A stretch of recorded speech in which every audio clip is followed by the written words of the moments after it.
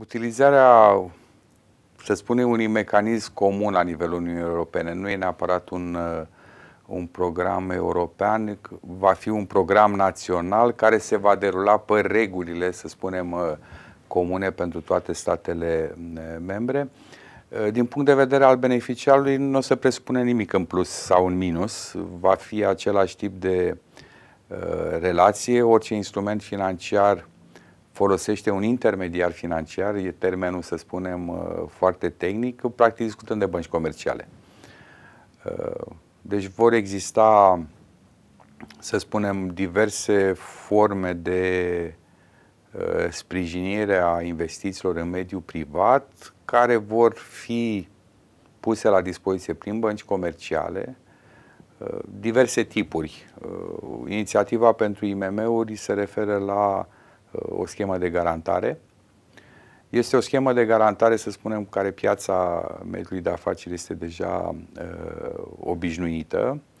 Avantajele sunt, uh, să spunem, la nivelul programului, pentru că inițiativa pentru IMM-uri, care se derulează uh, clar pe un mecanism uh, deja, deja desenat. Practic acolo vom avea o relație cu Fondul European de Investiții, partea Băncii Europene de Investiții, care, în baza unui acord semnat cu autoritatea de management, va selecta băncile comerciale, va pune la dispoziție fondurile și toate celelalte uh, informații uh, necesare. Uh, avantajele sunt, uh, cum vă spuneam, la nivel de program. Faptul că nu există o cofinanțare națională, nu există un sistem uh, de rambursare clasic pentru fondurile europene, ci Comisia în acest caz poate să pună la dispoziție în avans uh, sumele respective. Plus avantajul că există niște termene extrem de stricte. Practic, Uh, Fondul European de Investiții va trebui să selecteze băncile comerciale și să aibă niște acorduri de implementare până la sfârșitul anului 2016.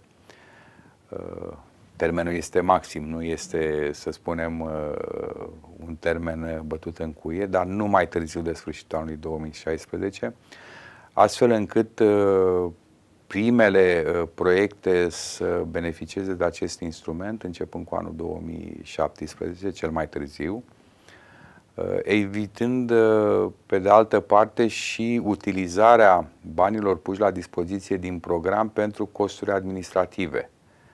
Uh, ăsta iarăși este un mare avantaj, deci toate costurile legate de gestionarea schemei în sine, știm foarte bine că o schemă care se derulează prin instituții bancare, indiferent de ce natură, au niște costuri. Uh, aceste costuri nu sunt însă vizibile la nivelul uh, pachetului financiar pus la dispoziție de program, ci ele sunt susținute de Banca Europeană de Investiții. Uh, mai, mai exact, în condițiile în care o să avem 100 de milioane, să spunem, dimensiunea fondului de garantare, integral cele 100 de milioane de euro vor fi transformate în garanții pentru credite luate de, de IMM-uri neexistând acele costuri, de obicei la nivel de câteva procente care practic uh, susțin tot acest mecanism. Da, în același timp trebuie creată o autoritate de management. Uh, da, există să spunem și un cost. Uh, un cost oarecum în ghilimele. Coste. Asta presupune da. să ai un program Resurse nou, umane. să ai un program nou cu tot ce înseamnă un program nou. Există însă niște mici deosebiri față de regula generală. Uh, este un program extrem de simplu pentru că finanțează un singur tip de, de activitate. Uh, practic va prelua din actualul program operațional regional o zonă care oricum era prevăzută a se utiliza pe o schemă de garantare. Uh, se păstrează aceiași, aceiași indicatori și toată logica din spate, deci să spunem crearea și punerea la, pe hârtie a unui program nou nu este o chestiune foarte complicată. Practic, transfer dintr-un program în alt program și, mă rog, îl îmbraci în, uh, să spunem, uh, pe tipicul unui program. Din punct de vedere al autorității de management, probabil ea se va constitui în cadrul actualului autorități de management pentru program operațional regional, uh, pentru că nu presupune neapărat resurse umane suplimentare.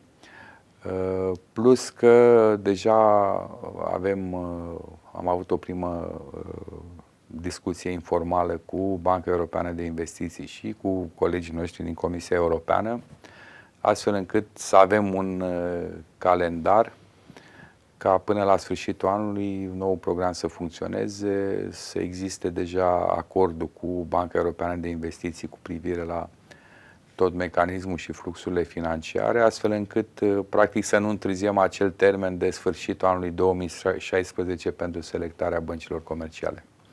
Uh, deci s-au evaluat oarecum și costurile. Pe de altă parte, uh, am ajuns la concluzia că costurile în sine nu sunt atât de mari și utilizarea unui, unui instrument de tipul ăsta ar fi chiar benefic.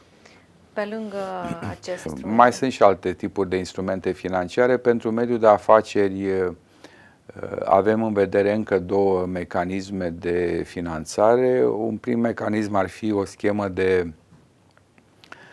de creditare cu risc partajat, e o denumire destul de, de tehnică. Practic, discutăm de un credit în care jumătate va fi uh, suportat din program, jumătate de o bancă comercială.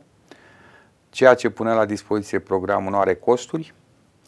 Uh, deci, practic, uh, probabil ce se va vedea la nivelul beneficiarului, va vedea un credit pentru care plătește dobândă la jumate.